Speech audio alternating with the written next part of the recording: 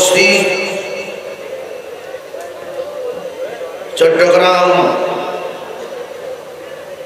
বোয়ালখালী, পশ্চিম গোমদণ্ডী দক্ষিণ পাড়া, তেলিয়া সেতু সংলগ্ন হজরত বদর আউলিয়া রহমতুল্লাহ মাজার মাঠ প্রাঙ্গণে পবিত্র ফাতিয়াজ দাম উপলক্ষে পুরুষ কৌশল আজম, দস্তগীর রহমতুল্লাহ মহতি সভা। সম্মানিত উদ্বোধক, বিশিষ্ট সমাজসেবক যারা মোহাম্মদ শেখান্দর সাহেব অনেকগুলো মানুষ স্টেজ পর্যন্ত বসতে পারছে না। গাড়ির যানজট লেগে গিয়েছে। আমরা অন্য কোনো মন্দ কাজে মন্দ কাজে অংশগ্রহণ করার জন্য আমরা প্রতিযোগিতা করছি না। আমরা আমার প্রিয় নবীর মহব্বতের বাগানে আসতে গিয়ে প্রতিযোগিতা করছি। সেই জন্য শুক্রিয়া দান করুন, আলহামদুলিল্লাহ। লাখ কোটি দুর্গ সালাম। ওই নবীন নুরানি কদম মোবারকে, যিনি সৃষ্টির আদি, সৃষ্টির মূল, সৃষ্টির কল্যাণ কারক, যিনি বিশ্ব সভার সভাপতি, যিনি সমস্ত আম্বিয়া ক্রামদের মাথার মুকুট, যার বাহন ছিল বুরাক, যার সফর হয়েছে মেয়ারাজ, যার গমন হয়েছে সিদ্ধার্থ মুন্তাহা। যার লক্ষ্যস্থল ছিল কাবা কাউসাইন যার উদ্দেশ্য ছিল আমার পাকের দিদার। সেই নবী পাকের উম্মত হিসাবে আল্লাহ পাক আমাদের সকলকে মঞ্জুর করেছেন। আমরা এমন একজন নবীর উম্মত, যিনি সব নবীদের নবী। আমরা এমন নবীর উম্মত, হাসরের ময়দানে সমস্ত নবীদের মুখে থাকবে ইয়া ইয়া আর আমার নবীর জবান মোবারকে থাকবে ইয়া ময়দান এমন একটি ময়দান যেই ময়দানে আল্লাহ হবেন হাকি আমার প্রিয় নবী হবেন উকিল আমরা হব আসামি আমার রসুল বলেন মিন রসুল বলেন আমি আমার গুনাহগার উম্মতকে টেনে টেনে টেনে টেনে জান্নাতে নিয়ে যাব অ্যাপ্লিকেশন ইল্লা রিসালা বিনা দরখাস্তে আল্লাহ পাক আমাদেরকে সেই নবীর উম্মত বানিয়েছেন। অসংখ্য নবীগণ কেঁদেছেন। বলেছেন, আল্লাহ আমাদেরকে যদি নবী না বানিয়ে আখিরি জামানার পয়গম্বরের উম্মত বানাতে আমরা খুশি হতাম। আর আমরা এই দরখাস্ত করতে হয় নাই। আল্লাহ রাজি হয়ে, খুশি হয়ে আমরা আমরা সেই শ্রেষ্ঠ নবীর উম্মত হতে পেরেছি।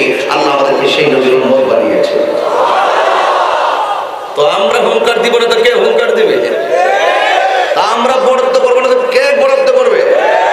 আজকে আজম আব্দুল কাদের শিরোনাম দিচ্ছেন আপনারা। আপনারা জানেন, তিনি জীবনে কখনো ধরনের ময়লা কাপড় পরে নাই ধরনের নর্মাল কাপড় পরে নাই। তিনি খুব শান শৌকত ভাবে স্টেজের মধ্যে আসতেন। তিনি খুব শান করে বসতেন। ওনাকে প্রশ্ন করা হতো, আপনি এইভাবে কেন আসেন? এইভাবে কেন বসেন? তিনি বলতেন, আরে, নবীর পক্ষে যারা, এরাই তো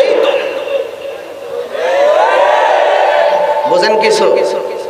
এই জন্য সেই নবীর উন্মত হয়েছে, আমরা কি খুশি না বেজার? কারা কারা বেজার হাত তোলেন? বাবু, তুমি তুল্লা কিনলে হ্যাঁ? আচ্ছা যাই হোক। কে কে খুশি একটু হাত তুলেন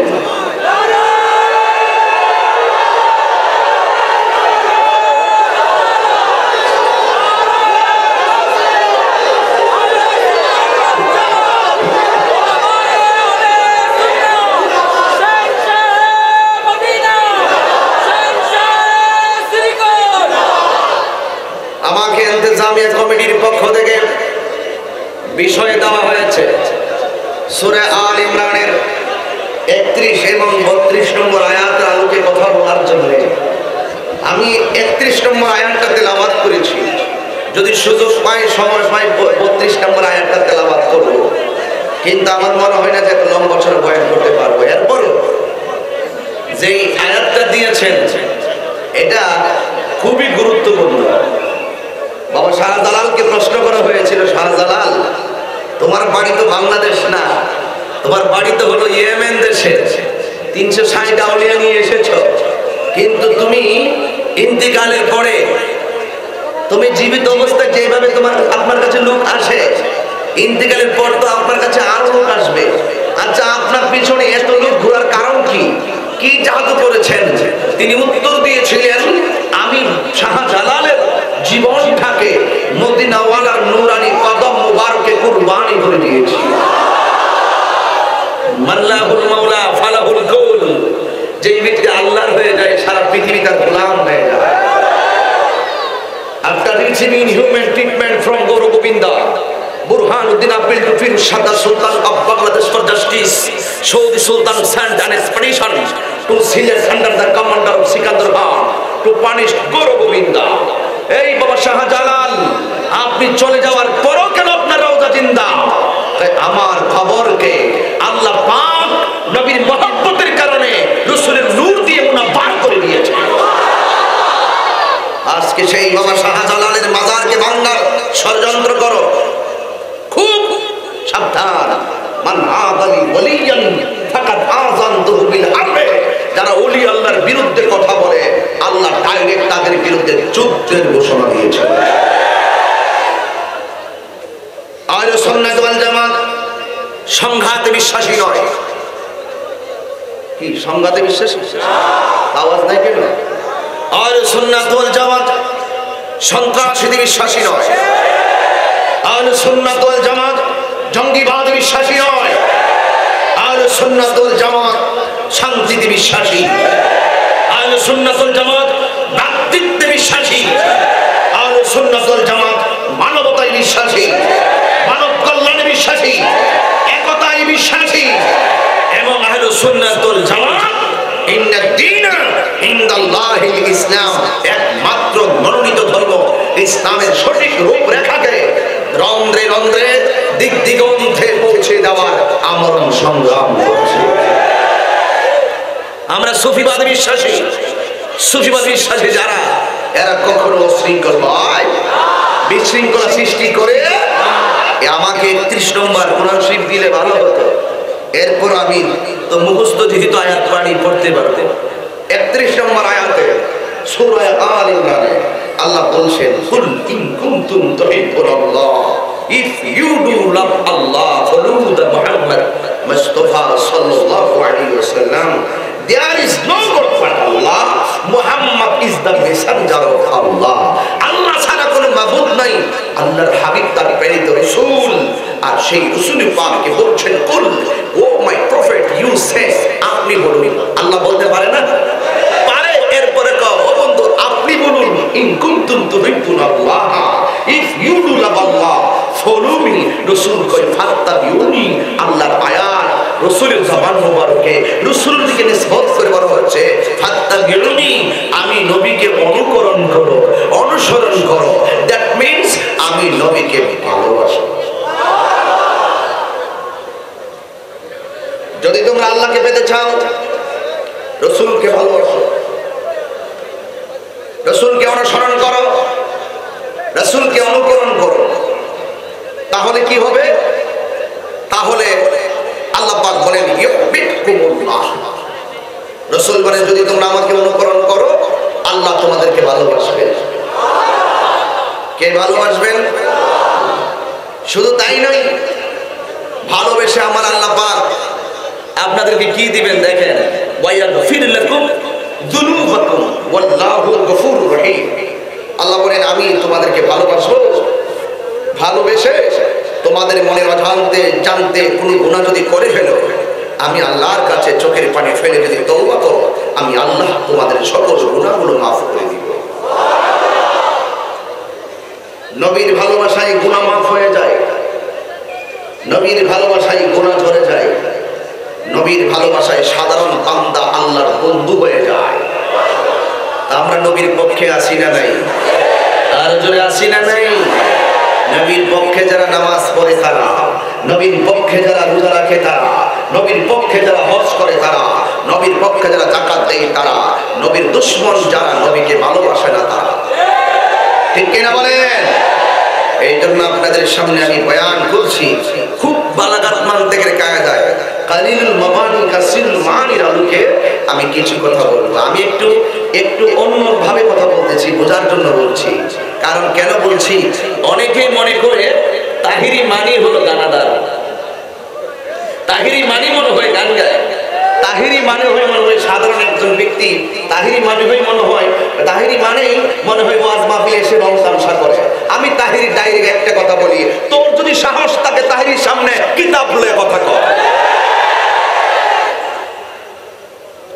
সামনে আসো, বসো, কথা বলো বোয়ালখালিতে ফাইনাল হয়ে যাবে চট্টগ্রামে ফাইনাল হয়ে যাবে সুন্নিরা চাপার জোরে কথা বলে না সুন্নিরা ব্যক্তির দালালি করে না সুন্নিরা দলিলের জোরে কথা বলে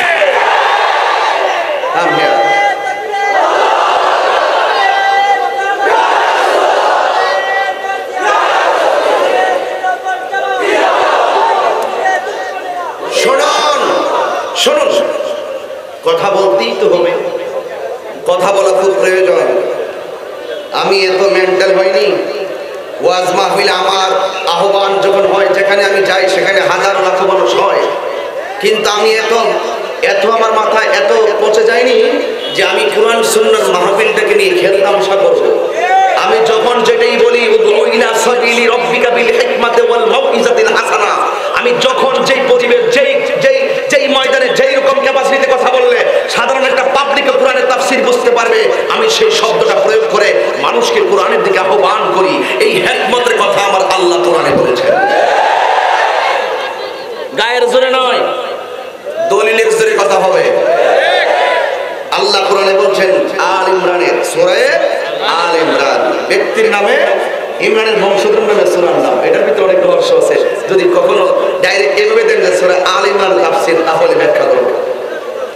আজকে তো একটা আয়াত দিয়েছেন, একটা আয়াতে যা বলতে পারে, নাকি? গভীর মনোযোগ। দুইটা জিনিস আমি আপনাদের কাছে চাইব। একেবারে কথা বলা যাবে না। যেখানে নবীর মহব্বতের কথা হবে, বন্ধুর মহব্বত চলবে না। যেখানে নবীর মহব্বতের কথা চলবে, এখানে পরিবারের মহব্বত চলবে না যেখানে নবীর মহব্বতের কথা হবে দুনিয়াদারি কোনো কথা চলবে না। কারণ হাদিস শরীফে আছে সকল মানুষের চাইতে আমার নবীকে ভালোবাসার নামই হইল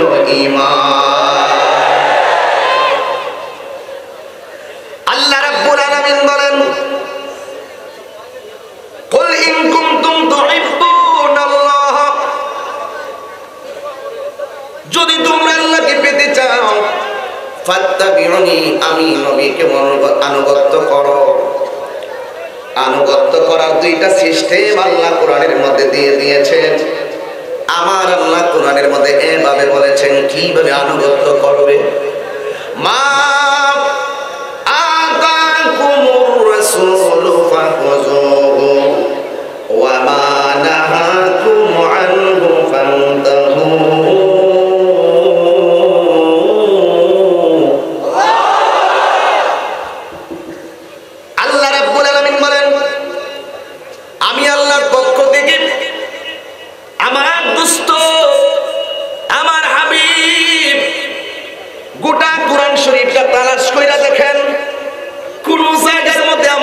নবীকে ইয়া মুহাম্মদ, কইয়া ডাক দেয় নাই।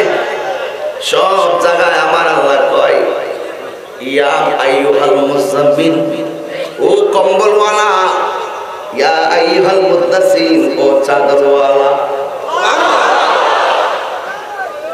এই জন্য যুবক ভাইয়ের আমার, সেই নবী বলেন, মা আতাকুমুর রাসূল ফাখুযুহু যা কিছু আল্লাহর পক্ষ থেকে আল্লাহর কল্যাণ করে এনেছেন, তা তোমরা গ্রহণ করো।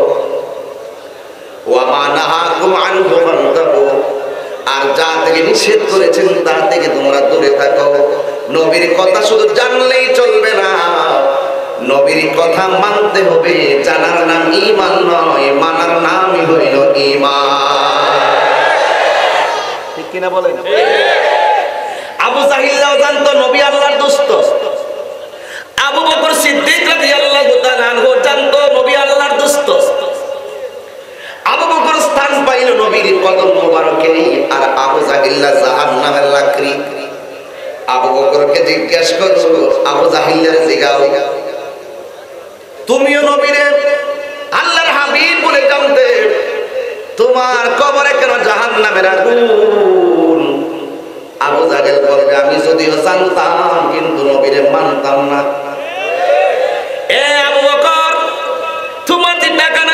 নাই সব দিনের জন্য বিলাইয়া দিছো কিন্তু তোমার রওজাটা কেন নবীর কদম মুবারকে?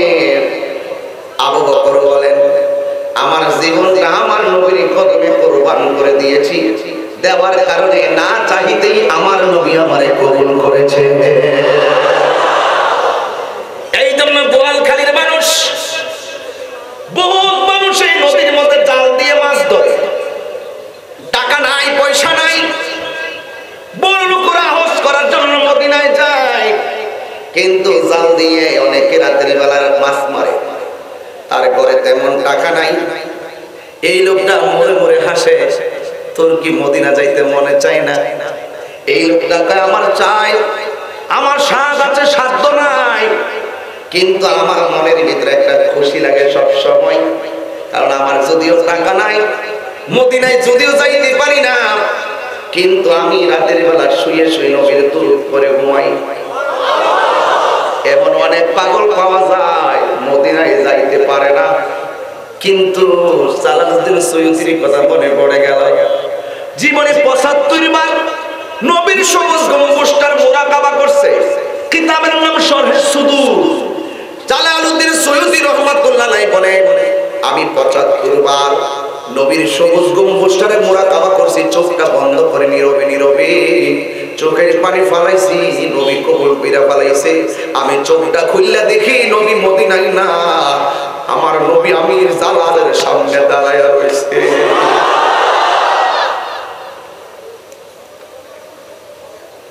নবী নবী করেন, নবী নবী করেন। কৈশোরে নবী না পান, দুঃখ করিলেন না। কিন্তু নবীর নাম ছাড়বেন না। যৌবনে নবী না পান, দুঃখ করিলেন না, নবীর নাম ছাড়বেন না। বার্ধক্যকালে নবীকে না পান, দুঃখ নাই, কিন্তু নবীর নাম ছাইরেন না। আমি তাহিরি বোয়ালখালি বলে নিয়ে যাই, খোদার কসম। আমার নবীর নাম শৈশব কৈশোরে জপলেন, নবী দেখেন নাই, যৌবনে জপলেন, নবী দেখেন নাই, বার্ধক্যে জপলেন, নবী দেখেন নাই। শুধু রাতের বেলা ঘুমায়া ঘুমায়া করবেন শুয়া শুয়া বলবেন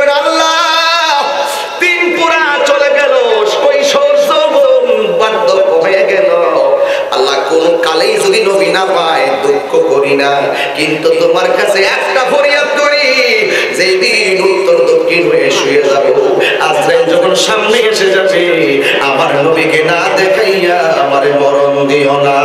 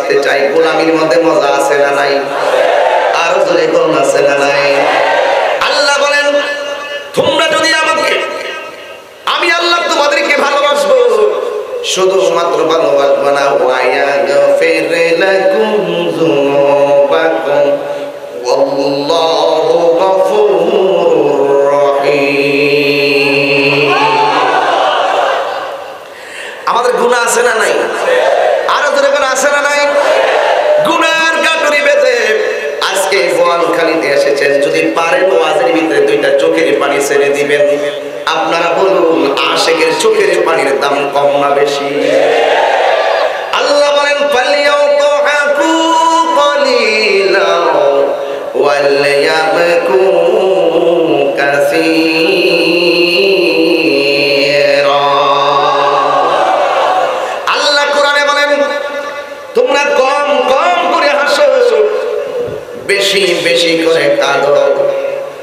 তোমাদের জীবনে কান্নার পরিমাণ বেশি হয়ে যায়। আল্লাহর কাছে শুকরিয়া আদায় করো। আর যদি তোমাদের হাসির পরিমাণ বেশি হয়ে যায়, তোমরা আল্লাহর কাছে তওবা করো। হারানো সম্পদ হারানো সম্পদ ফিরে পাইলে বান্দা যেমন খুশি হয়। বান্দা গুনাহ করার পরে আমার আল্লাহর কাছে তওবা করলে আমার আল্লাহ বড় খুশি হয় আল্লাহ পাক না আসামি পালায়া যায় অপরাধী পালায়া যায় পুলিশের ভয়ে আর দুনিয়াতে যে বান্দা অপরাধী করে আমার আল্লাহ তার তালাশ করে ছাড়ে মাফ করার জন্য বান্দা আল্লাহর কাছে চাইলে আল্লাহ খুশি আল্লাহর কাছে তৌবা করলে আল্লাহ খুশি কারণ আল্লাহ তিন হাজার নাম এর মধ্যে একটা হলো গফুর গফুর আরেকটি হলো রহমান আরেকটি হলো রহিম এই নামের খাসিয়ত, এই নামের এই নামের অর্থই হতো তুমি গুনাহ করবে, আমি আল্লাহ মাফ করবে ঠিক কিনা বলেন? এই জন্য আল্লাহর কাছে ক্ষমা চাইলে আল্লাহ খুশি। এই জন্য যুবকের দল, এখন সময়টা বড় দামি। এই দামি সময়ে তোমাদেরকে দামি আবাদত করা লাগবে। ও যুবকের দল, গভীর মনোযোগ দিয়ে বসে যান। কেন আপনি নবীকে ভালোবাসবেন? আমার নবী যা দেখে আমরা তা দেখি না। যা বুঝে আমরা তা বুঝি না। কথা বলেন ঠিক কিনা?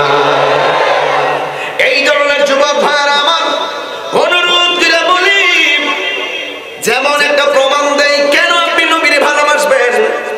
নবী যাহা দেখে আমরা দেখার ক্ষমতা নাই, আছে?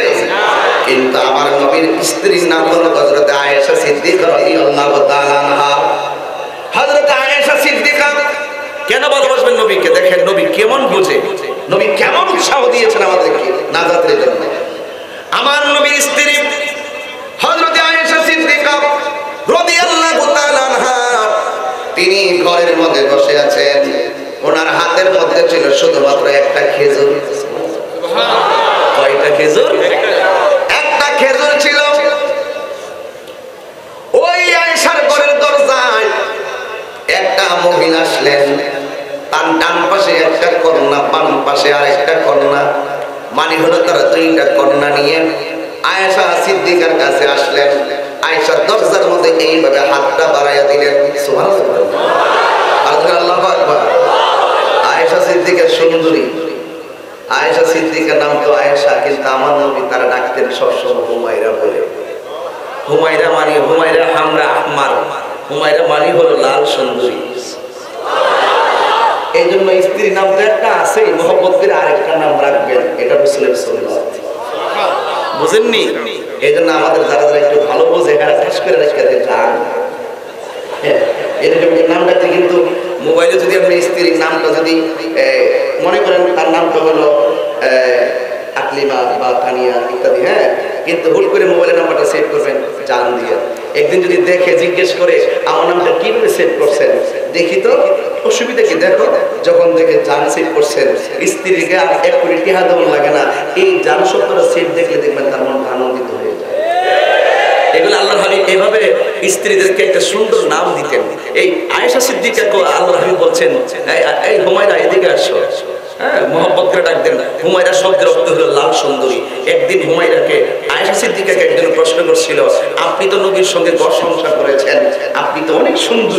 আচ্ছা তিনি যখন হাসতেন, তাকে কেমন দেখা যেত? তখন বলতেন, তিনি যখন হাসতেন, প্রত্যেকটা দন্ত থেকে যেন একদিন প্রশ্ন করা হলো আয়েশা সিদ্দিকাকে, আয়েশা, আপনি তো রসুলের সঙ্গে ঘর সংসার করেছেন, কিন্তু ইসুফ নবী যখন মহিলাদের মসজিষে গিয়েছিল, তখন ইসুফ নবীকে দেখে হ্যাঁ তখন মিশরের মেয়েরা ফল কাটতে গিয়ে আঙ্গুল কেটে ফেলছে। ওই মসজিষের মধ্যে যদি আমার রসুল যেত তাহলে তারা কি করতো? আয়েশা সিদ্দিকা বলেন মিশরি মেয়েরা তো ইসুফ নবীরে দেখে ফল কাটতে গিয়ে আঙ্গুল কাটছে, টের পাই নাই। কিন্তু ওই মজলিসে যদি আমার নবী যেত, আমার নবী এত সুন্দর, নবীর নুরানি চেহারার জলকানিতে ওরা হাত কাটতো না, ওদের কলিজাটা কেটে টুকরা টুকরা করে দিল, তার টের না। মানে এত সুন্দরী সেই। সিদ্দিকার কাছে মহিলা গিয়ে হাত পাততেন আয়েশা সিদ্দিকা কিন্তু দুই হাজার দুইশত দশটি হাদিস মুখসিরিন যে রেওয়ায়ত করছে হাদিস যারা তাদের মধ্যে একজন হলো আয়েশা সিদ্দিকা। যিনি দুই হাজার দুইশো দশটি হাদিস রেওয়ায়ত করেছেন, রসুল থেকে। ইনি অত্যন্ত বুদ্ধিদীপ্ত ছিলেন, অত্যন্ত জ্ঞানী ছিলেন। বিচক্ষণ ছিলেন তিনি একদিন ঘরের দরজায় দাঁড়ানো একটা গিয়ে বললেন, আয়েশা, আমি এসেছি আপনি আল্লাহর হাবিবের স্ত্রী।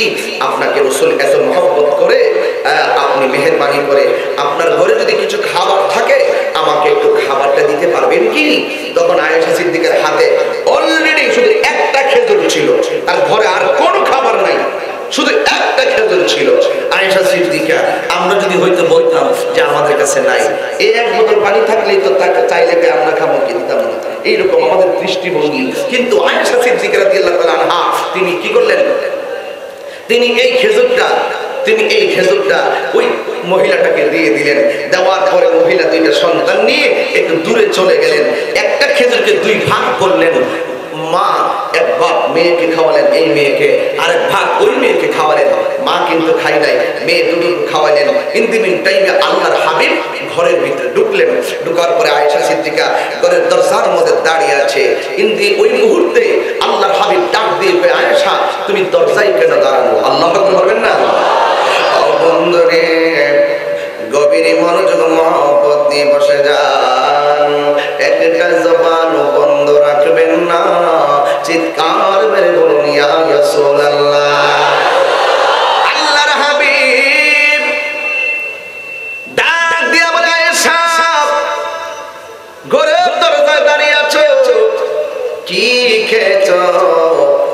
আয়েশা সিদ্দিকা ডাক দিয়া বলেন ইয়া রাসূলুল্লাহ, নবী গো। আমার ঘরের ভিতরে কোনো খাবার ছিল না গো। শুধুমাত্র একটা খেজুর ছিল। ওই মুহূর্তে ওই যে মহিলাটা দুইটা সন্তান নিয়ে দাঁড়িয়ে আছে, ওই মহিলাটা দুইটা কন্যা নিয়ে আমার বা ঘরে আসছিল। আয়েশা আমার কাছে খাবার চাইলো। আমি আমার হাতের যে খেজুরটা ছিল, এই একটা খেজুর আমি মহিলাটারে দান করে দিলাম। এবার ডাক দিয়ে আয়েশা, তুমি ভালো কাজ করেছ। ও আয়েশা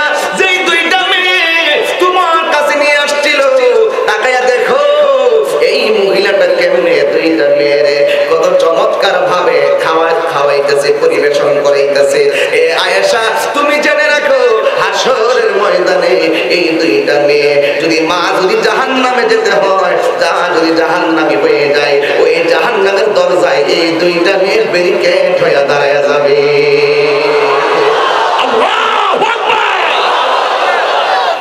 আমার সমাজে তিনটা কারণে মানুষের বেজার হয়। বেশি বৃষ্টি থাকলে বেজার হয়। বেশি মেহমান, বেশি দিন থাকলে বেজার হয়। অনেক সংসার আছে, মেয়ে সন্তান বলে বেজার হয়। একদিন মুসা কালিমুল্লাহ আল্লাহরে ডাক দিয়ে আল্লাহ, তুমি যখন খুশি হও, তুমি কি করো? আল্লাহ বলে, আমি যখন খুশি হই, আমি বাড়িতে মেহমান পাঠাই। মুসা কালিমুল্লাহ ডাক দিয়ে আল্লাহ গো, এরপরে যদি বেশি বেশি খুশি হও আমার আল্লাহ বলেন এরপরে বেশি খুশি হলে আমি আল্লাহ জমিনে বৃষ্টি নাজিল করি। এবার মুসা নবী আল্লাহরে ডাক দিয়ে গিয়া ও আল্লাহ গো এর চাইতে যদি বেশি খুশি হও কি করো? আমার আল্লাহ বলে আমি সংসারে মানুষের কন্যা সন্তান দান করি। এই জন্য আমার নবী বলেন কেন নবীকে ভালোবাসবেন? নবী শুধুমাত্র শুধুমাত্র সামাজিক ভাবে রসুল কথা বলতেন না। পারিবারিক, অর্থনৈতিক, সামাজিক যত কিছু আছে, সব দিকে রসুল পাক পূর্ণাঙ্গ জীবন বিধান এবং দিনকে পরিপূর্ণ করে আমাদের কাছ থেকে গিয়েছেন। কথা বলেন ঠিক না এই জন্য আল্লাহ রসুল বলেন, কেউ যদি একটা কন্যা সন্তান হওয়া পরে তাকে লালন পালন করে, দিন শিক্ষা দিয়ে তাহলে যদি উপযুক্ত জায়গায় বিয়ে দিয়ে দিতে পারে, আমার নবী বলে, সে তো বিয়ে দিল না। তার হাতের মধ্যে একটা জান্নাতের টিকিট লাভ করল। এই জন্য আমরা রসুলকে ভালোবাসি, যে নবীকে ভালোবাসে, সবগুলো বিধান মানা লাগবে। এই জন্য আমি আপনাদের কাছে শুধু ক্ষণে ক্ষণে বলতে চাই, এ বন্ধু রে আল্লাহর হাবিব সাল্লাল্লাহু আলাইহি সাল্লামকে কেমন ভালোবাসা লাগবে? এমন একটি ভালোবাসা প্রয়োজন আছে। আল্লাহর হাবিব সাল্লাল্লাহু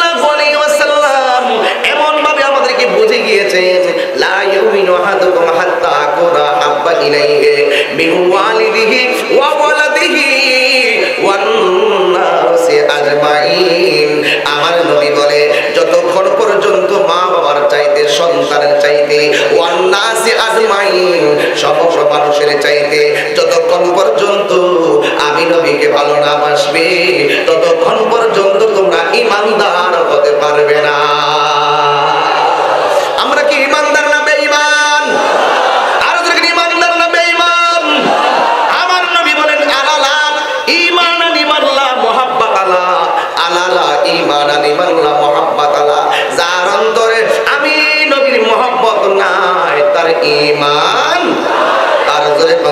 ঈমান ঈমান নাই। এই জন্য যুবক এক প্রেমিক তার সামনে শুধুমাত্র দুইটা স্লোগান। একটা হলো আল্লাহর নাম আর একটা হলো নবীর নাম। যেখানে নারী তাকবীর থাকবে সেখানে নারী সালাত থাকতেই হবে। কথা বলেন ঠিক কিনা বলেন? বহুত মানুষ আছে, লা ইলাহা ইল্লাল্লাহর পাশে মুহাম্মদুর রাসূলুল্লাহ লিখলে তারা কেটে ফেলে। আছে না নাই বলেন এর চাইতে পুরা কপাল বিশ্বাস নাই। যে ব্যক্তি আল্লাহর নাম থেকে মুহাম্মদ সাল্লাল্লাহু আলাইহি নামকে কাটতে চায়, এরা বানর হয়ে মারা যাবে। কথা বলেন, ঠিক কিনা? ওরা বেঈমান হয়ে মারা যাবে। যেথায় আল্লাহ সাথে রাসূল, হুরদের এক চোখে আল্লাহর নাম, আরেক চোখে নবীর নাম, জান্নাতের গেইটে গেইটে, এক পাশে আল্লাহর নাম, আরেক পাশে নবীর নাম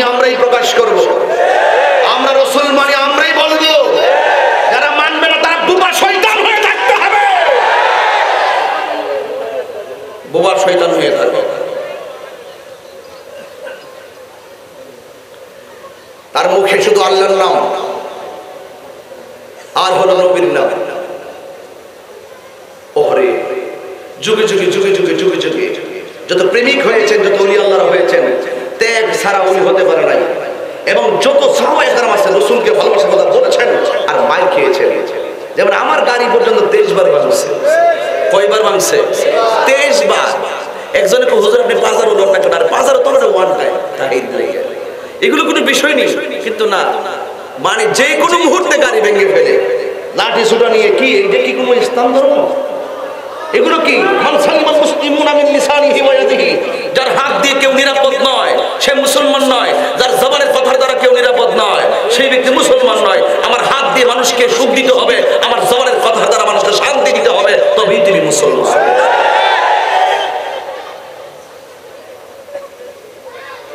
দুঃখজনক হলো সত্য। আল্লাহর হাবি বলেছেন, এমন একটা সময় আসবে, জ্বলন্ত আংরা হাত রাখলে যেমন কষ্ট হবে ইমান রাখতে তার চাইতে আরও বেশি কষ্ট হবে, ঠিক না বেঠি? ও বন্ধুরে, গভীর মনোযোগ, মহাব্বত দিয়ে বসে যান। একটা জবান বন্ধ রাখবেন না।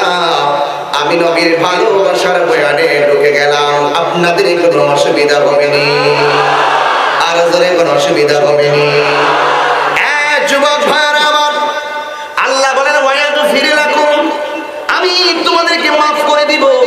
মাফ করে দেব মানে হলো সাধারণ বান্দা থেকে আল্লাহর বন্ধু বানায় ফেলবে। আজকে হুজুর গৌসুল আজম আব্দুল কাদের জিলানি, গিলানি আল্লাহ হাসান ওয়াল হুসাইনি এই রাদিয়াল্লাহু তাআলা রাহুমের শিরোনামে যে মাহফিল হচ্ছে এই এই সমস্ত আল্লাহর ওলিদের পদচারণায় মুর্দা কলব জিন্দা হয়, আর সিনাটা মদিনা ওয়ালার আয়না হয়। কথা বলেন ঠিক না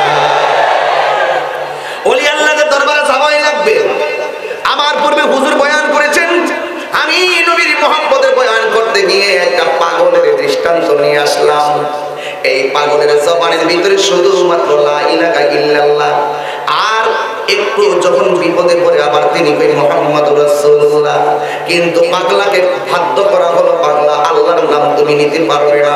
তোমার মুখ দিয়ে নবীর নাম আনতে পারবে না। তুমি শুধুমাত্র আমার ঘরে কাজ করবে, আল্লাহর জিকির করা যাবে না।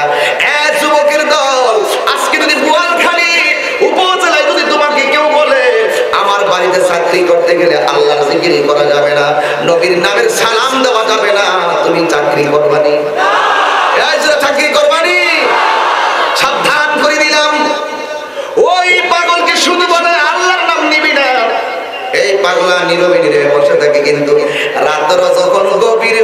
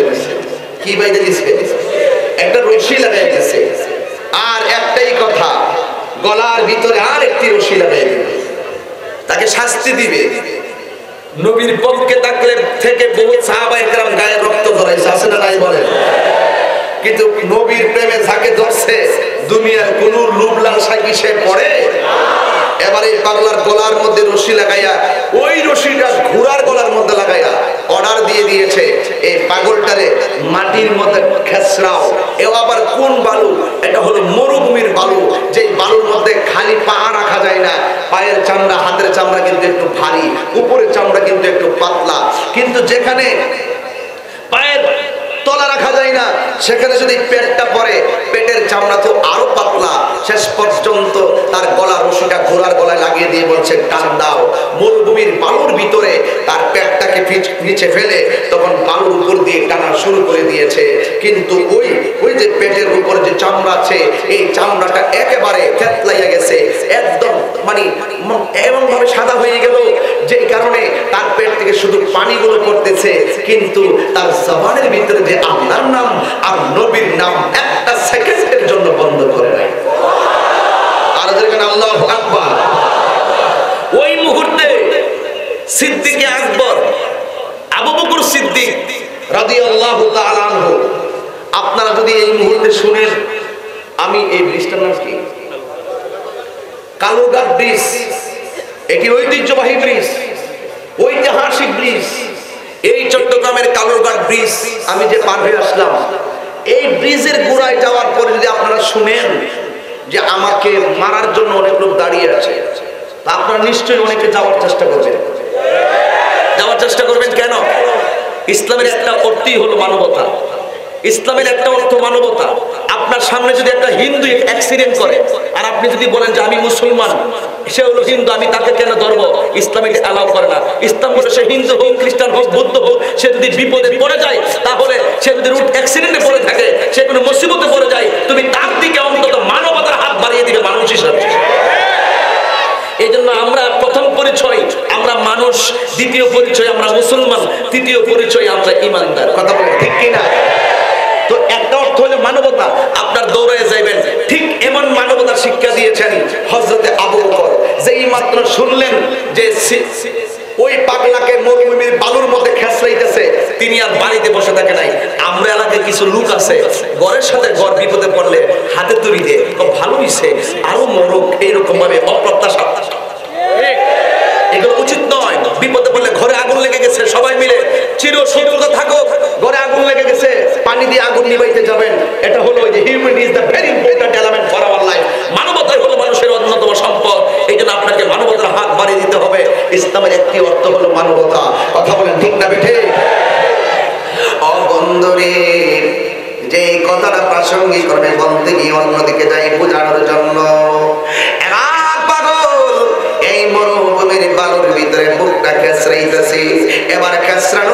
শুধুমাত্র তাই নয় তারা ইচ্ছে মতো সমুদ্রের মধ্যে টানতেছে কারণ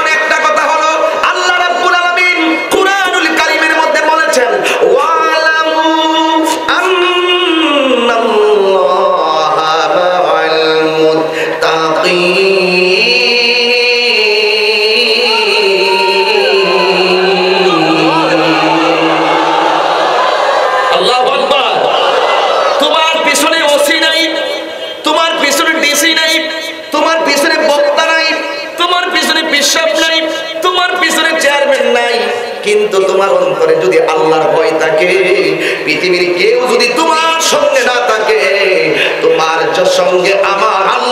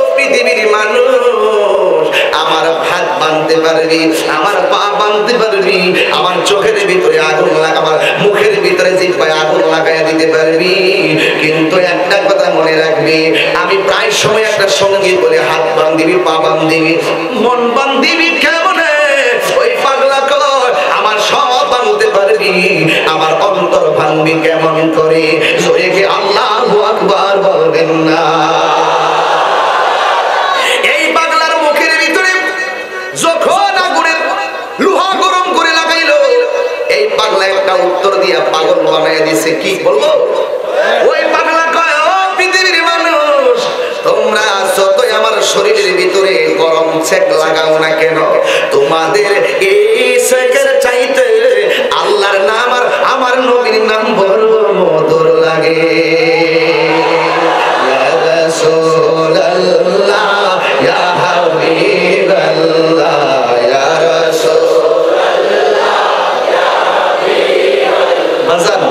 আমি কি গজল বেশি বলে দিচ্ছি?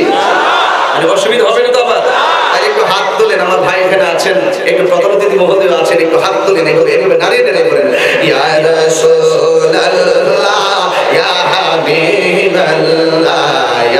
رسول يا حبيب الله يا حبيب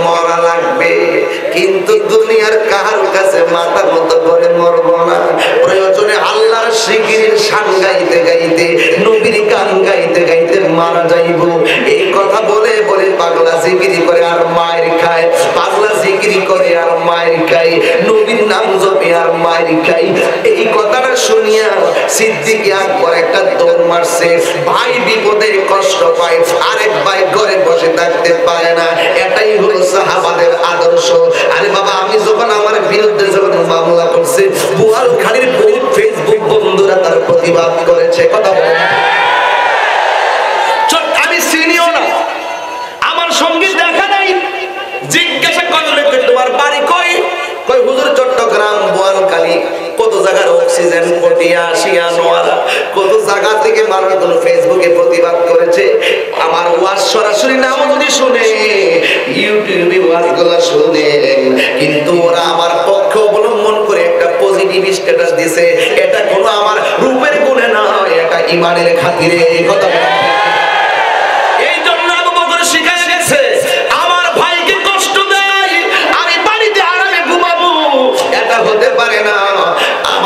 এখান থেকে উদ্ধার করা লাগবে এই কথা বলিয়া আবু বকর সিদ্দিক রাদিয়াল্লাহু তাআলা একটা দৌড় মারছে। দৌড় মাইরা পাগলার কাছে চলে গেছে। যাইয়া দেখতেছে মাটির মধ্যে শোয়া পেটের ভিতরে একবারে সুলে সাদা হয়ে আছে। পেট থেকে শুধুমাত্র পানি গুলো পড়তেছে পানি গুলো পড়তেছে। ইত্তাকু বেফেরাসাতাল মুমিনে বা ইন্নাহু ইয়ানজুরু ফি নূরিল্লাহ যার অন্তরে আল্লাহ পাকের হেদায়েতের নূর থাকে তার চোখ দিয়া সে আল্লাহর কুদরত দেখতে পারে ঠিক কিনা বলো? এই জন্য যুবক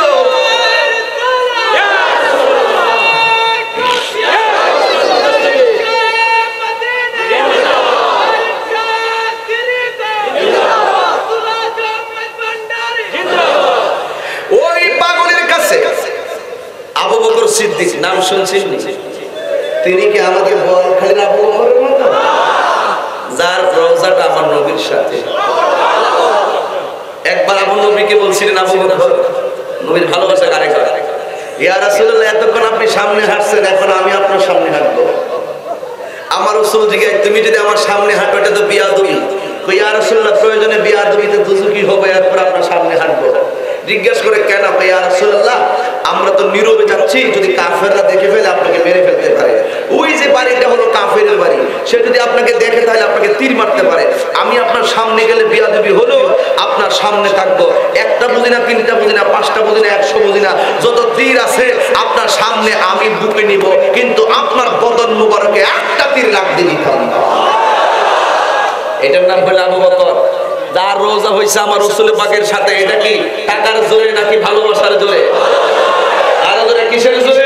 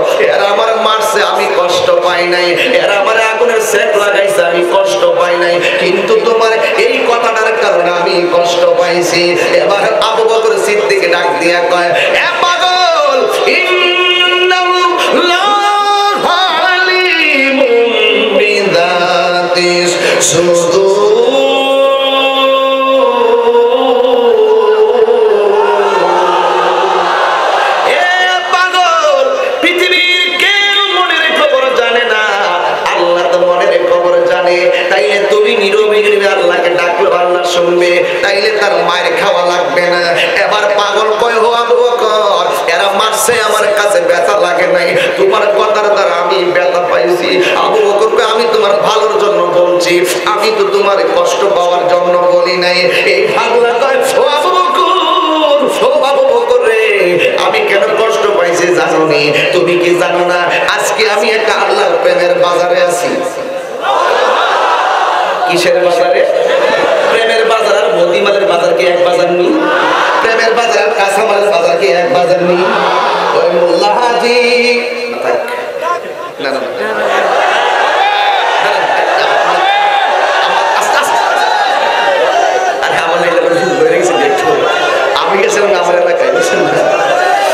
হ্যাঁ? তোমরা যে কেরে এটা আমি জানি তোমরা চাও যে আমি ভাবে বলি ঠিক আছে এটা খুব সাবধানে কথা বলি খুব সাবধানে যেন কোনো কিছু কুট করে নিতে না পারে খুব সাবধানে কথা বলি ঠিক আছে হ্যাঁ স্লিপ অফ টাং হতে পারে স্লিপ অফ মাইন্ড হতে পারে। এরপরে যদি কিছু হয়ে যায় তাহলে তো ভুল হতেই পারে। আমি স্বীকার করে নিব ঠিক কিনা বলে আমার ভুল করলে আমার ভুলটা ধরে দিবেন ঠিক কিনা? যদি আমি একটু আগে ওয়াশ করতে যাই আর ক- বল- বলতেছি নবীর ব্যাপারে হয়ে গেছে একটু একটু ব্যস্ত লাগছে না? আমি কি বলছি? সরি এটা হবে এটা। আমরা রসুল যা দেখে আমরা তা দেখি না। এখন যদি ওই জায়গাটা অংশটা কাজটা নিয়ে কেউ নিয়ে এসে কোনো ধরনের ইয়ে করতে চাই মনে রাখবেন আল্লাহর হাবিব আপনাকে ছাড়বে না। যে একটা মানুষ পথ চলতে গেলে ইমাম সাহেব বসে নামাজ পড়তে গেলে বসার জায়গা দাঁড়িয়ে যায়। মুক্তাদির উচিত হচ্ছে ক্ষমা দেওয়া। আর লোকমা না দিয়া আপনি পিছনে নামাজ পড়ে বাজারে যাইয়া বলবেন এমুকে নামাজে ভুল করছে। এগুলো হলো ইবলিসের চাচাতো ভাই। এগুলো এজিদের বেতার এগুলো আবু জাহেলের নাতি।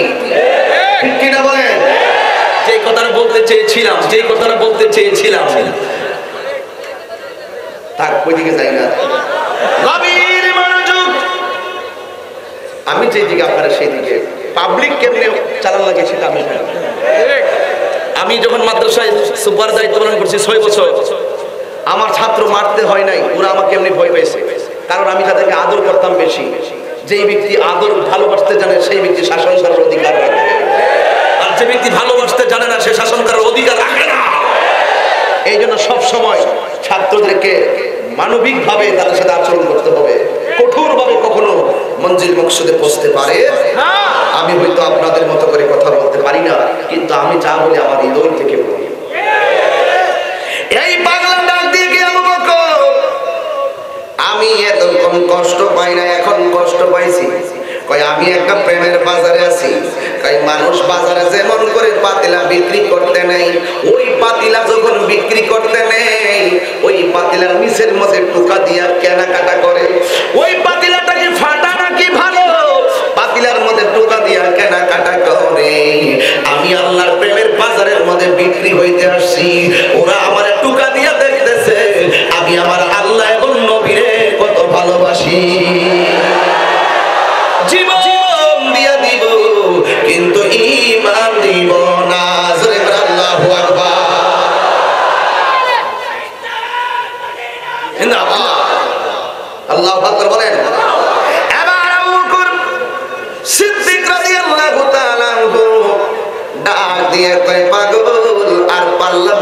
মালিকের সঙ্গে কথা বলব। মালিক রেজায়া ডাক দিয়া বলে, মালিক, আমার এমন কষ্ট দিতেছেন মেহেরবানি করে তাকে মুক্ত করে দেন, আজাদ করে দেন। এবার মালিক তারে আজাদ করে না। আবু বকর সিদ্দিক রাদিয়াল্লাহু ডাক দিয়া কয়, আমি টাকা দিব। এরপরও আপনি তারে মুক্ত করে দেন। কয়, তুমি কত টাকা দিবে? কয়, আমার কাছে কোনো টাকা নাই। তবে গায়ের মধ্যে একটা চাদর আছে। যদি পারেন চাদরের বিনিময়ে আমার ভাইটারে মুক্ত করে দেন। আমি তারে নিয়ে যাই। এবার চাদরের বিনিময়ে পাগলটারে মুক্ত করলেন। মুক্ত কইরা আমার নবীর কাছে নিয়ে গেলেন।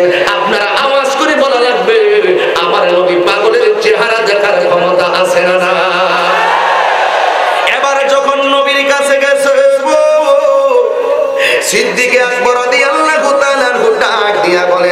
ইয়া রাসূলুল্লাহ নবী গো একটা পাগল আনছে, আমার ভাই আনছি, কিন্তু আমার একটু লস হয়েছে। কয় লস কয়, আমার চাদরের বিনিময়ে আমি পাগলটারে আনছি। আমার নবী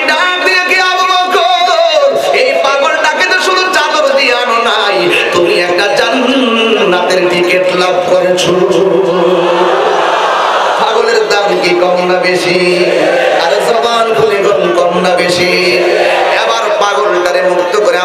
সামনে নিলেন নেওয়ার পরে আমার নবী একটা ডাক দিয়ে বলে, পাগল, ও পাগল রে, শোনো শোনো, তোমার সব কিছু আমি দেখেছি, বুঝেছি।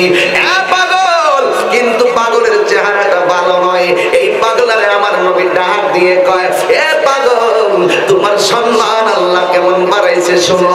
আমি রসুল তোমাকে অর্ডার করলাম, তুমি একটু আজান দাও। এই পাগলা কই নবী গো, আমি কোথায় দাঁড়িয়ে আজান দিব? আমার নবী কই তুমি উঁচু জায়গায় দাঁড়িয়ে আজান দাও। এবার পাগলা একটা জাবালে রহমতে দাঁড়িয়ে আজান দিলেন। আমার নবী কই আর একটা আজান দাও। এই জাবালে আবু কুবাইসের মধ্যে দাঁড়িয়ে আজান দাও।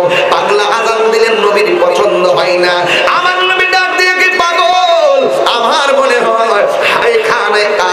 হবে সবচেয়ে উঁচা, ওই জায়গার মধ্যে দাঁড়ায় তুমি আজান দাও। এই কথা বলার পরে পাগলা আজান দেওয়ার আগে ডাক দিয়া কয়া রাসূলুল্লাহ ওই জামাল রহমত আজান দিয়েছি কাবার দিকে ফিরে। জামাল রহমত দাঁড়ায় আজান দিয়েছি কাবার দিকে ফিরে। এখন যদি আমি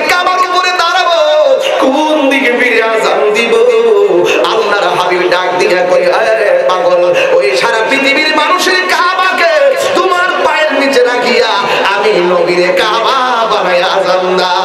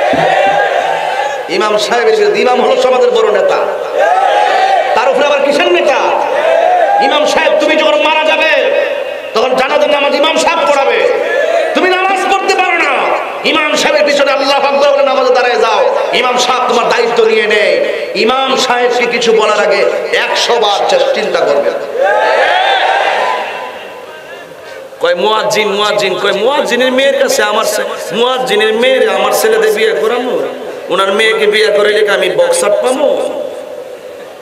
মুয়াজ্জিনের বেতন পাই কত? তিন হাজার টাকা পাই কয়, এর বিয়ে করাইলে কি ফ্রিজ পাওয়া যাব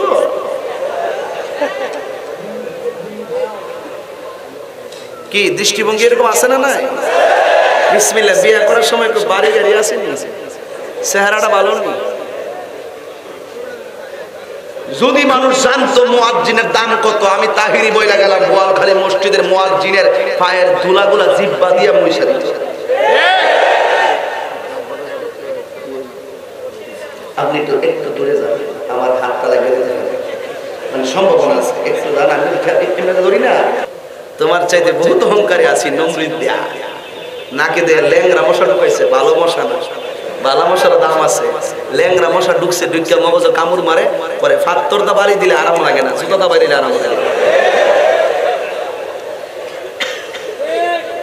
আপনার মনে একটু কষ্ট হইতেছে নাকি? কষ্ট হইতেছে? আচ্ছা, আর কে জানি কইছিল আমার চা দিব তোমরা জানো আমি চা খাই না কফি দিবা দিলে বারবার এরকম ডিস্টার্ব করব দিলে কফি দাও নাইলে বা চা দাও চা। সবই শুনবেন বাবা। আমি আসছি। গোয়াল খালি দিটা আমার এলাকা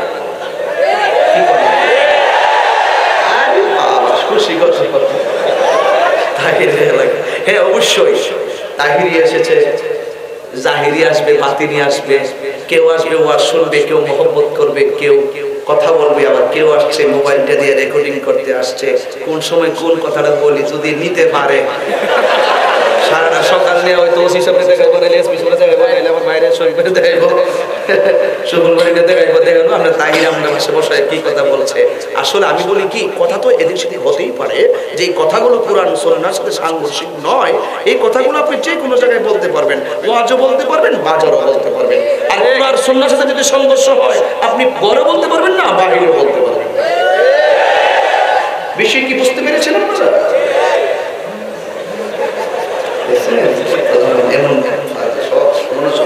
কি আপনার মনে খারাপ লাগতেছে মনে কারা কারা খুশি একটু হাত তুলে একটা স্লোগান দেন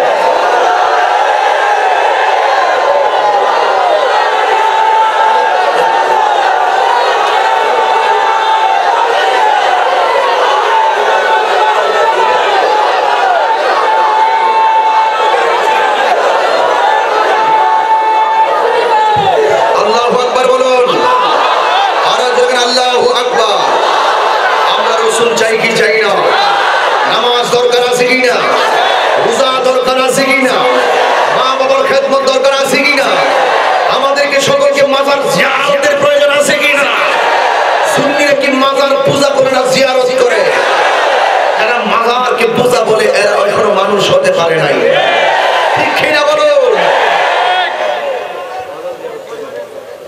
আমরা কি করি? জীবন দেই কিন্তু ইমান দেই না। এটা কারবালার ইতিহাস। এটা উহুদের ইতিহাস। জীবন দিব কিন্তু ইমান দিব। এবার পাগলাকে বলছে পাগলা আজান দাও। যখন আজান দিছে, সমাজের কিছু লোক আছে না দূর উনি সিন বলতে পারে না, সিন বলবে রসুল কাছে বিচার দিচ্ছে। আমার রসুল কই, তোমরা তাহলে এর চাইতে ভালো বানাও। একজনের বানাইছে, বানানোর পরে আজান দেওয়াইছে, দেওয়ার পরে সকালে আর সূর্যের মুখ কেউ দেখে না। আল্লাহ ডাক দিয়ে, কে বন্ধু, আপনার মসজিদে কি আজান হয়নি? ও হয়েছে তো কাজ হবে না। ওই পাগলকে দিয়ে আজান দেওয়া। যেই পাগলে আজানটা দিলে, সেই আজানের এসকের ধাক্কা আমার আরশে আজিমের মধ্যে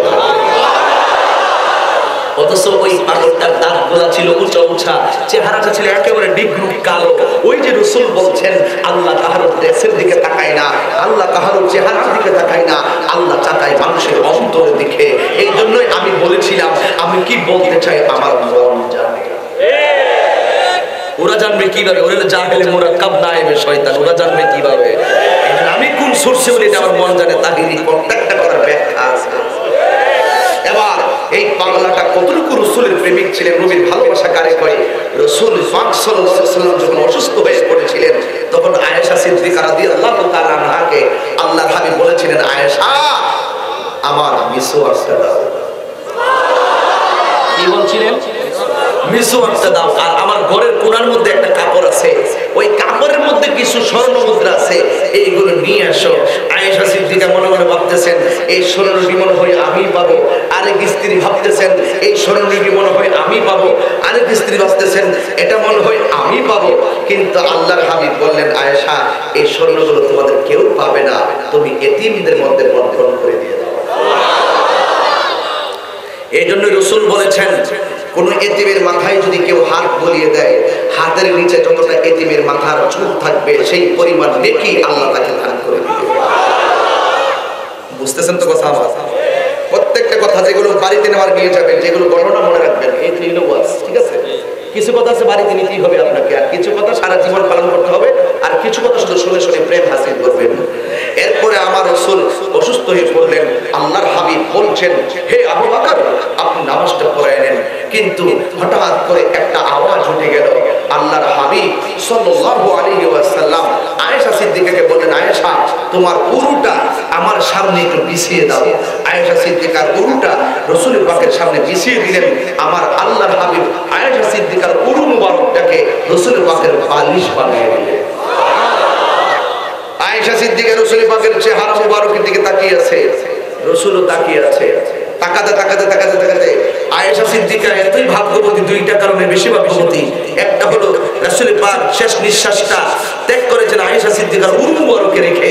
আরেকটা হলো রাসূল পাক শেষ নিঃশ্বাসটা ত্যাগ করেছেন আয়েশা সিদ্দিকার ঘরের ভিতরে। আর আল্লাহু আকবার এই জন্য আল্লাহর হাবিব বলেছেন, কোন স্বামী যদি মারা যায়, স্ত্রী যদি হাত তুলে আল্লাহকে বলে, আল্লাহ, আমার স্বামীটা অনেক ভালো ছিল। আল্লাহর হাবিব বলেন স্ত্রীর এই দুয়ার কারণে স্বামীটাকে জান্নাতবাসী করে দেয় আবার কোন স্বামী যদি মারা যায়, স্ত্রী যদি বলে, আল্লাহ, আমার স্বামীটা খুব ভালো ছিল। আমার আল্লাহ এই স্বামীটাকে জান্নাতবাসী করে দেয় এই জন্য প্রশংসা করবেন। এই জন্য জানাজার মাঠে গিয়ে বলবেন, লোকটা কেমন ছিল? ভালো ছিল। লোকটা কেমন ছিল? ভালো ছিল। লোকটা কেমন ছিল? ভালো ছিল। বোহারি শরীফে প্রমাণ করে জানাজার মাঠে দশজন যখন ভালো বলতেছে, আল্লাহ ওই মুহূর্তে মাইয়াতকে মাফ করে দেয়। তা দেশে এগুলো এখন কম।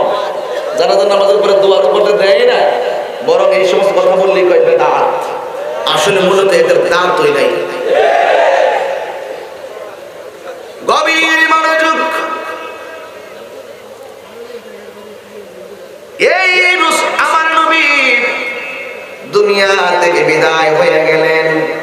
কিন্তু হওয়ার কিছুদিন আগে ওই পাগলকে আমার নবী বলছেন, পাগল, হাসরের ময়দানে তুমি আমার পেছনে সর্বপ্রথম জান্নাতে প্রবেশ করবে। ডাক দিয়ে নবীজি, এটা কীভাবে সম্ভব? আল্লাহর হাবিব বলেন আল্লাহ আমাকে হাসরের ময়দানে একটা প্রাণী দিবেন। যেই প্রাণীটার নাম হলো উট, যেই উটের নাম হলো কাসুয়া। এই কসুয়া নামক উটটা আমাকে দিবে। ওই কসুয়া নামক উটের গলার মধ্যে একটা রশি থাকবে। এই রশিটা হাসরের ময়দানে কেউ টানবে না। এই রশিটা টানবে তুমি পাগলাই। এই রশিটা টেনে টেনে তুমি জান্নাতের দিকে নিয়ে যাবে। ওই আগে কোন নবী ঢুকতে পারবে না, কোন নবীর উম্মত ঢুকতে পারবে না। আমি নবী আগে ঢুকবো, এরপরে আমার উম্মত ঢুকবে, এরপরে সবাই ঢুকবে। আমার নবী ডাক দিয়ে পাগল, ওই জান্নাতের পরে আমি পিছনে প্রথম যাবে। আর জবান খুলে করে আল্লাহু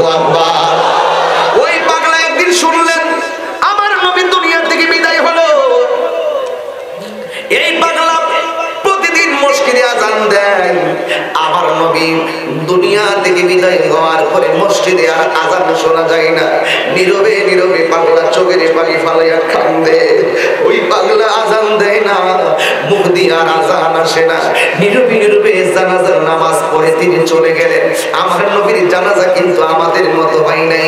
আরে বাবা, আমার নবীর তো জানাজাই হয় নাই। আমার নবীর নবীকে দুরুদের মাধ্যমে নবীর সমাহিত করা হয়েছে। জানাজা যদি হইতো, ইমাম হইতো, দুনিয়ার সমাজ অনেকে শোনা যায়, আবু বকর নাকি নামাজ পড়াইছে। আমি বলব, যদি কেউ প্রমাণ করতে পারে, কোন সাহাবী নবীর জানাজা পড়াইছে, আমি তার সঙ্গে মোকাবেলা করার জন্য প্রস্তুত আছি। কথা বলেন ঠিক কিনা? এই জন্য যুবক আমার নবী আপনার নবী রাহমাতুল লিল আলামিন দুনিয়াতে নাই। নবীজিকে দাফন করার পরে এবার সাহাবারা ওমর রাদিয়াল্লাহু তাআলা নবী ইন্তেকালের সময় হাতের ভিতরে একটা তলোয়ার নিয়ে দাঁড়ায় রইছে। আবু বকর সিদ্দিক আয়েশা কয়, ও ওমর কান্দো না। ওমর ডাক দিয়া কয় আবু বকর, যে বলবি, আমার নবী মারা গেছে। আমি উমরের তলোয়ার দিয়া তার কল্লা ফালাইয়া দিব। আমার নবী যাইতে পারে না। মরতে পারে না। এবার আবু বকর সিদ্দিক রাদিয়াল্লাহু তাআলা আনহু বলেন, দুনিয়ার কোনো ভাষা দিয়া উমরের সান্ত্বনা দেওয়া যাবে না। উমরকে সান্ত্বনা দিতে হবে কোরআন তেলাওয়াত দিয়া। সেই মাত্র কোরআন পড়া শুরু করেছে, উমরের পাথরের মতন শক্ত মনটা যেমন নরম হয়েছিল, আমার নবীজির ইন্তেকালের সময় তার দিলটা নরম হয়েছে আল্লাহু আকবার আমার নবীকে দাফন করা হলো মসজিদের যাবে কিন্তু আজানের আওয়াজ নাই। এবার একজনে কই কি ব্যাপার? ওই বেলাল কোথায়? পাগল কোথায়? ওই পাগল কই? বেলাল গেল কই? আজান দিয়ে না। মদিনার অলিতে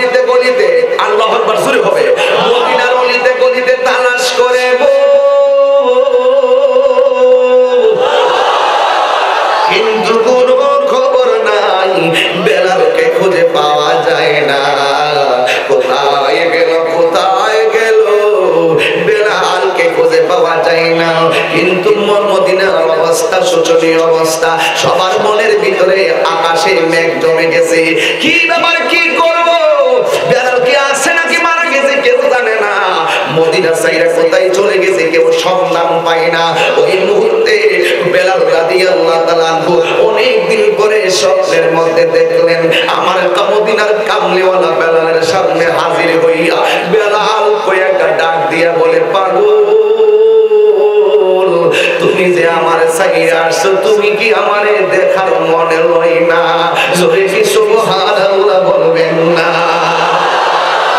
এই স্বপ্ন দেখা পাগলের মনের ভিতরে শান্তি নাই। আমার নবীর রওজা মুবারকটা দেখার জন্য গেলেন মদিনায়। ওই বেলালের মুখের মধ্যে বাঁধছে যেন কেউ তারে না চিনে, কেউ তারে না চিনে মসজিদে নবীতে গেল, সেখানে নবী নাই, যেখানে আজান দেয় সেখানে নবী নাই। মদিনার গলিতে গলিতে ঘুরে, কিন্তু নবী দেখা যায় না। এই এই- কারণে পাগলের মনটা বেশি ভালো না। মুখটা রাখছে কিছু কিছু ছোট ছোট গোলাপান পিছনে লেগে গেছে। এই লোকটা কেডারে ওই মদিনার মধ্যে ঘুরতেছে, মুখ বাইন্দা শুধুমাত্র মুখ বান্ধে নাই, ওই মদিনার ভিতরে কিছু কিছু জায়গা আছে, হাত লাগায়া লাগায়া চুমা দেয়। মদিনার ভিতরে কিছু কিছু, অনেক লম্বা, আমি অনেক কেটে দিছি। দেড় ঘণ্টার বাস কাটছি, বোঝার জন্য বলছি মেন কথাগুলো বলছি।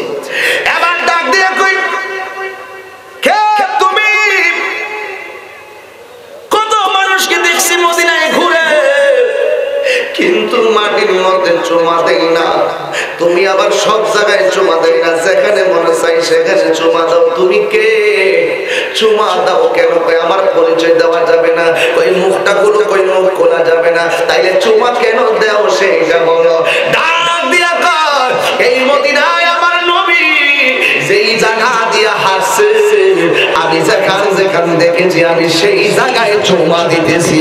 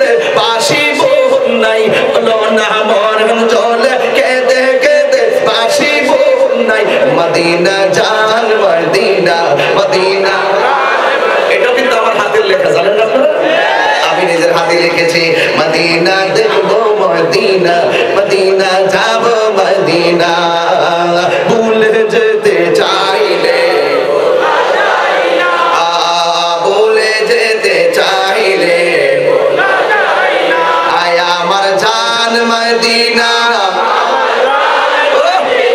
আয় আমার জান মদিনা।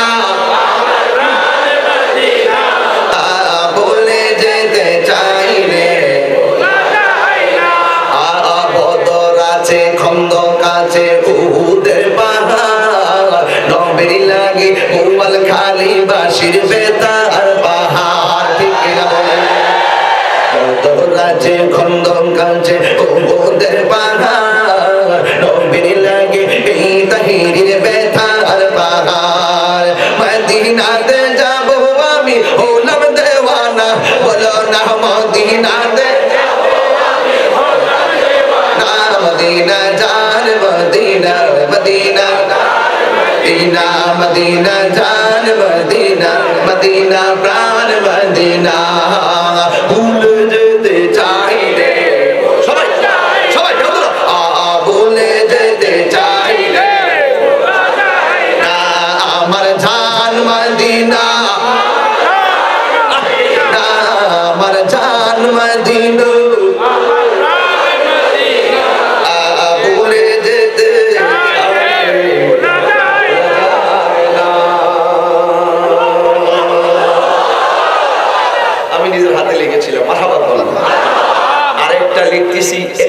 লিখছি, এখন এক বছর হয়ে গেছে এক করে লিখছি, আর সময় পাই না। কি লিখছিলাম যে? নবীর নাম যত শুনি।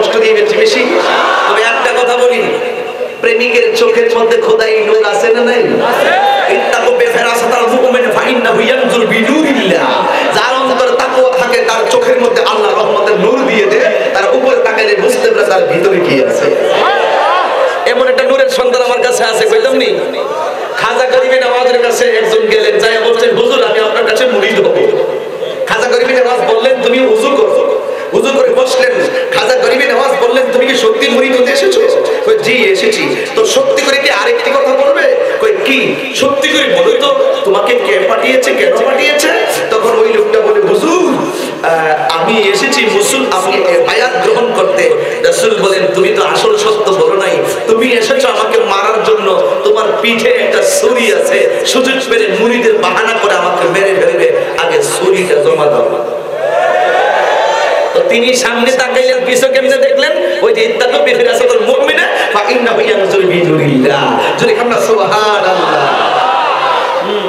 এরপরে হযরতে বেলাল রাদিয়াল্লাহু তাআলা তিনি বললেন যেখানে রাসূল কদম দিয়েছেন সেখানে আমি চুমা দিচ্ছি। আমাকে আপনারা ডিস্টার্ব করবেন না। ও, কি বলো? এমন লোক যে রসুলের পাখের কদম মুবারক বুঝে? ও বন্ধনে এবার পাগলা ডাক দিয়ে আমার বিরক্ত করো না। মদিনার এবার মুখটা খুললেন, মুখটা খুললে দেখতেছেন, এত অন্য কেউ না যে পাঁচ ওয়াক্ত নামাজের আজান দিত। নবীর ইন্তেকালে যে চলে গিয়েছিল, সেই বেলাল মদিনায় আমার আগমন করেছে আল্লাহু আকবার হুম। এবার ডাক দিয়ে আমাকে ছেড়ে দেন না আমি থাকব না মদিনার মানুষ আপনাকে তাকাই লাগবে। আমার জোর করো না, আমি চলে যাব। ও বন্ধু,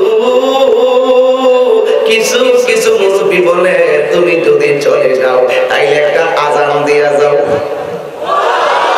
না না আজান দিতে পারব না, আমার থাকবে না। আমাকে বিদায় আজান দেব মধ্যে দুইটা হয়ে গেছে। আজান দেওয়ার দরকার নাই থাকবে। আর ঠিক আছে, বেলাল মদিনায় না থাকলে জোরে তো রাখা যাবে না একটা আজান দিয়া এই আমাদের কলিজা ঠান্ডা হয়ে যাবে। এবার বেলাল কোন পথে যাবে? একদল লোক বলে আজান দেন আরেক দল লোক বলে মদিনায় থাকেন। এবার তৃতীয় পক্ষ একজন দাঁড়ায় গেছে। আমি ওয়াশটা তুলছি কেন জানি?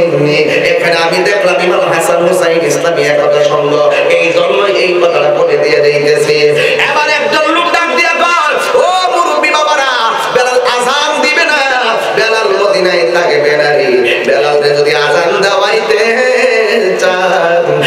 মদিনায় দুইটা ছেলে আছে। এই দুইটা সন্তান যদি বেলালকে অনুরোধ করে আমার মন বলতেছে বেলাল কোনোদিন ফালাইয়া দিবে না না করতে পারবে না। মুরব্বীরা ডাক দিয়ে পেয়ে দুইজনকে। ওরা ডাক দিয়ে পেয়ে একজন হলো ইমাম হাসান আর একজন হলো ইমামে গোসাই লম্বা হয়ে গেল। যাই হোক যাই হোক একটি কথাই বলব রসুলের প্রেম রসুলের প্রেম রসুল প্রেম মিনাল ইমান হুব্বে রসুল মিনাল ইমান যার মধ্যে নবীর থাকবে, মনে করে সেই ইমানদার ঠিক কিনা বলেন? এই জন্য বেলালকে ওই ইমাম হাসান হুসাইন আসলেন, এসে বলছেন, বেলাল, আপনি কি একটু আজান দিতে পারবেন? বেলাল চোখের পানি ছেড়ে দিলেন। দিয়ে রসুলের ওই হাদিসটা মনে হয়ে গেল রসুল যে বলেছেন মান আহাব্বাল হাসান ওয়াল হুসাইনা ফাকাদ আহাব্বানি। ইমাম হুসাইন রাদিয়াল্লাহু তাআলা ওই যে বেলাল রাদিয়াল্লাহু তাআলা সেই হাদিস আমার রসুলের সেই হাদিস মনে হলো বেলালের। রসুল যে বলছেন ওমান আবগাদাহুমা ফাকাদ আবগাদা আবগাদানি। এই দুইজনকে কষ্ট দিলে আমার নবী কষ্ট পাবে। হুসাইনের কথা যদি এখন না রাখি তাহলে তো মদিনার নবী কষ্ট পাবে।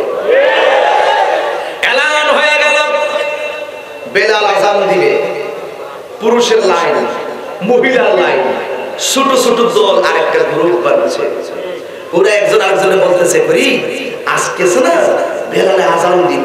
ওই যে আমার আম্মা আব্বা যে বেলালের গল্প বলতো, এই বেলালে আজকে আজান দিব। ইনি যখন আজান দিব, তখন রোজার থেকে আমার রসুল বেরিয়ে আসবে। এটা হলো ছোট ছোট বাচ্চাদের কমেন্টস। তো বেলাল আজান দিবেন, যাই হোক, বেলালে আজান দিলেন কিন্তু বেলাল আসান দিয়ে টিকে থাকতে পারে নাই। সর্বলোকের কথা মতে উঠে বিল্লাল মিনারাতে, মোহাম্মদ নাম বলার সাথে বিল্লাল করে যাই।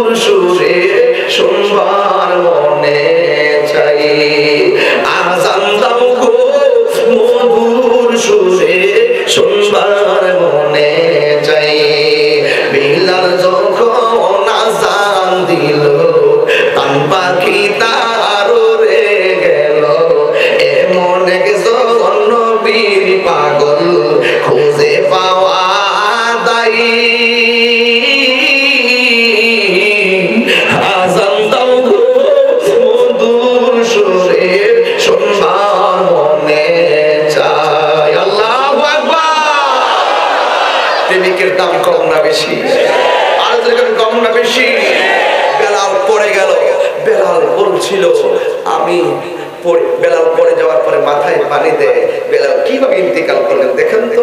বেলালকে জিজ্ঞেস করল, আপনি আজান দিতে গিয়ে পড়ে গেলেন কেন? ভাই, আমি যখন আসাদু আন্না মোহাম্মদ রসুল্লাহ সারা জীবন এই শব্দটা বললেই রসুল আমার সামনে দাঁড়িয়েছিলেন। যখন এবার বললাম, রসুলকে আমি প্রথমবার দেখতে পারি নাই, দ্বিতীয়বার দেখে আমি স্থির থাকতে পারি এর নাম বেলাল। বেলাল বহুত আছে, বেলালের প্রেম লাগবে। সব মসজিদে হয় কিন্তু সেই বেড়ালের প্রেম কয়জনের উদয় হয়।